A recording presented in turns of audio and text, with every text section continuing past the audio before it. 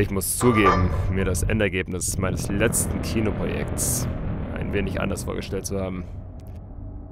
Es sollte ein mit Filmzitaten gespickter, bitterböser Kommentar auf den Untergang des klassischen Kinos werden. Ein Abgesang auf unsere Epoche, unsere Gesellschaft und ganz allgemein auf die Menschheit an sich.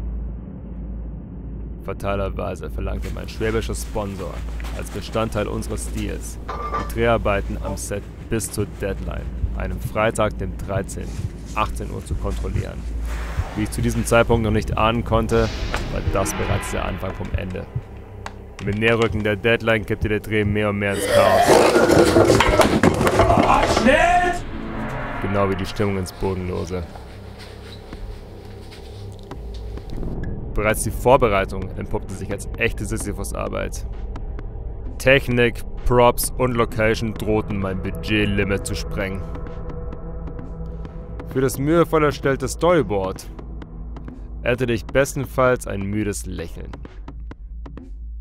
Nach enormen Anstrengungen gelang es mir schließlich, einen wohlhabenden Alttippi als Geldgeber für meine Arbeit zu gewinnen. Es war jedoch eine überaus griffige Herausforderung, unsere absolut komplementären Vorstellungen über Form und Inhalt des Streifens unter einen Hut zu bringen. Also sei mir nicht böse, aber ich habe den Eindruck, dass du aus meiner Geschichte einen Zombiefilm machen willst. Es geht hier um das Virus und seine gesellschaftlichen Konsequenzen und nicht um billige Effekte. Niemand hat die Absicht, ein sinnloses Gemesse zu inszenieren. Aber wir brauchen ein bisschen Action und ein bisschen Story. Ansonsten pennt uns einfach der Zuschauer weg. Action und Corona kommen nicht zusammen. Es geht hier um Einsamkeit, Isolation und Identifikation. Drei Stunden Einsamkeit und Schweigen, keine Story, kein Konflikt, keine Charaktere, alles gedreht in einer einzigen Einstellung, in einem Raum. Wer hält denn da noch mit?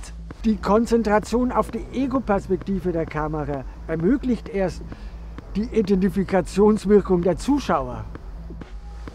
Soll ich dir mal sagen, was das unterstützt für den Zuschauer? Langeweile und gar nichts weiter. Na, also gut, dann nehmen wir halt noch eine zweite Location mit dazu. Dieser Schnitt könnte dann den gesellschaftlichen Bruch symbolisieren, den das Virus hervorgerufen hat. Ja, was? Friedhof oder was? Tja, meinetwegen. Könnten wir machen. Ja, aber es ist wirklich ein guter Einfall, weil da haben wir auch gleich den inhaltlichen Bezug zur Pandemie. Hast du schon eine Vorstellung, wie wir das machen könnten? Mhm. Ich hab da schon eine Idee.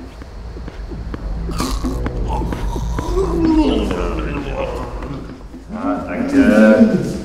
Also, ich finde, für die erste Testaufnahme sieht das echt gut aus.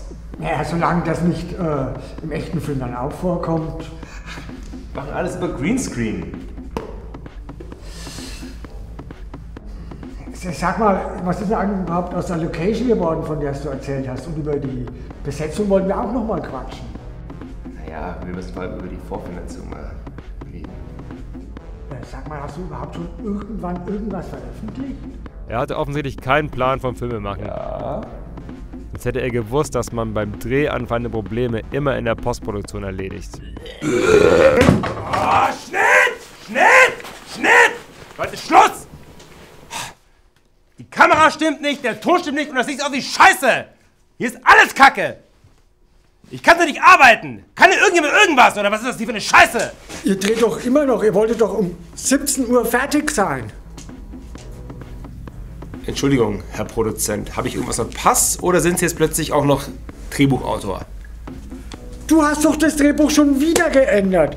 Wir hatten uns doch darauf geeinigt, dass dieses Zombie-Virus von den Russen abstammt und nicht von dieser Corona-Impfung.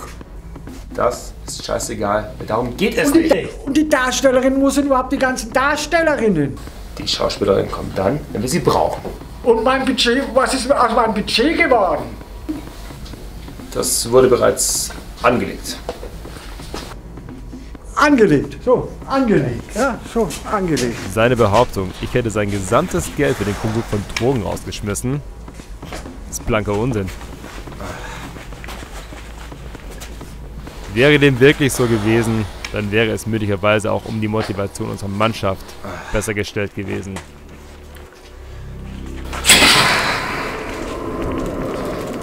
Sorry.